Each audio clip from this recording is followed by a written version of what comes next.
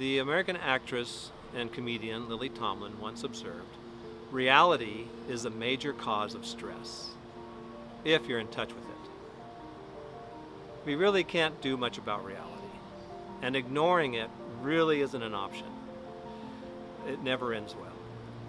But there are time honored ways of staying healthy during stressful times, and one of those is to maintain a sense of humor.